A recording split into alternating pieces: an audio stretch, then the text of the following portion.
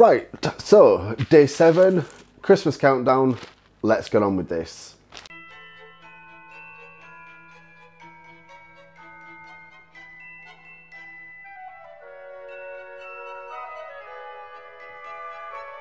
I'm still in love with how they they've tied everything up and oh yeah.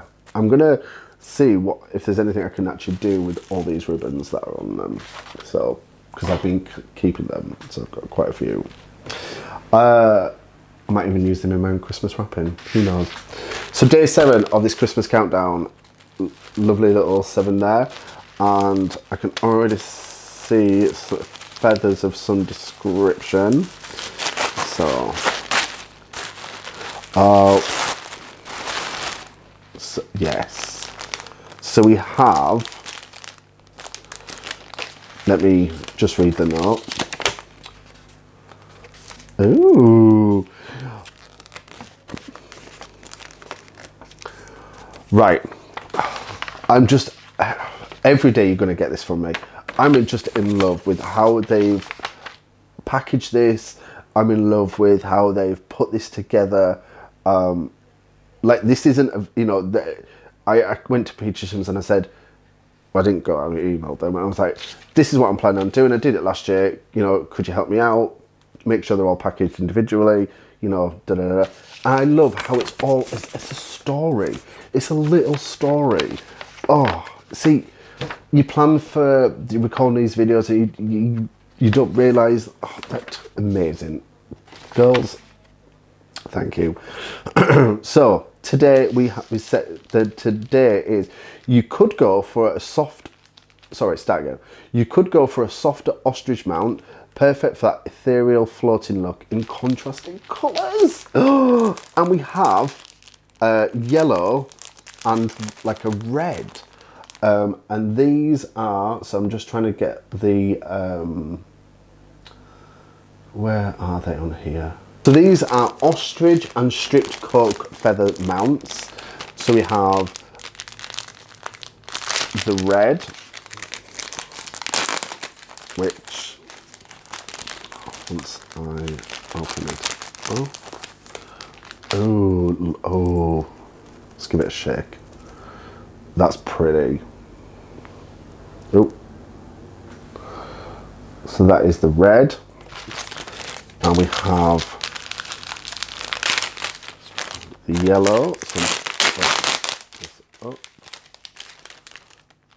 oh. that yellow is divine.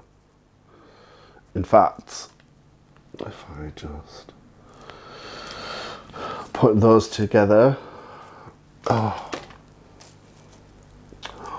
yes, beautiful, beautiful. Um, and these retail for four pounds a mount um, which I think for the amount of ostrich feathers you get, that's actually a good deal. Um, so yeah, once again, not always necessarily something I would always use personally in the past. Now I'm starting to see these mounts and you know get to touch them, get to play with them. Um, it's definitely definitely something to uh, that I would think about and that is my um, front door so I'll be back in a second. That was somebody who wanted a parcel that was left in our foyer. So, Poms, thank you.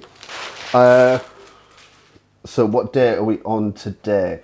We're on day seven. So many days, so many days, so many days. So day seven uh, comes from Instagram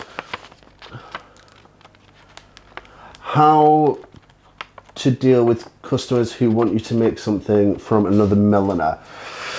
Good question. Um, this comes up not very often, but it does come up. Um, it does come up.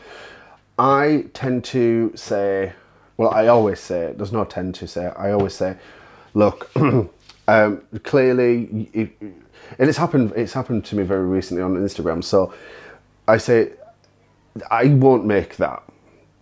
Um, I you know I, if you if you don't know who's where did you find the picture, you know I'll put you in touch with somebody who who made the hat. You know, I can I can you know I don't know everybody, but I, I'm I'm okay enough to figure out who could have made what to a degree.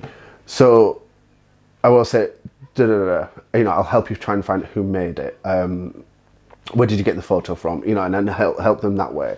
Sometimes they genuinely want they they they they want you to make something that they want, but they want don't want to charge the price. Now, personally, I won't do that. Like, my style is my style, and I'm not going to. It's kind of what's the correct word? Sacrifice my style or my ethics or anything like just to make a bit of money. I would rather people buy my stuff because they like my stuff as opposed to coming to me because I'm maybe a little bit cheaper than somebody else. So that's just my view. Um, I think that there is a lot of copying in this industry. Um, not maybe not. I haven't seen it so much recently, but I, I remember last year there was a spate of uh, people being ripped off left, right, and centre, and it, it, you know, frankly, it needs to stop. There's nothing wrong with taking inspiration from somebody. There's nothing wrong with looking at something and thinking, how can I, uh, you know, try that, uh, and then and trying to understand how they put it together and then take it in a different direction. I don't think there's anything wrong with that.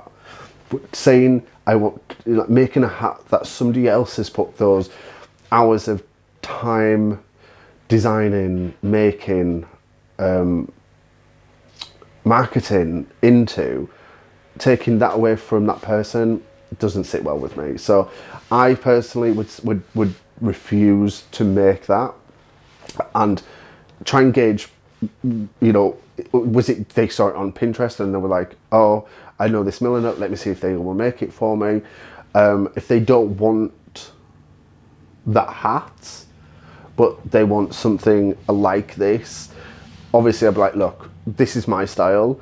I'll incorporate some of that, the design elements or the colors or the shape or, or whatever into my design, but it won't be this hat and see how that goes. So I hope that answers your question.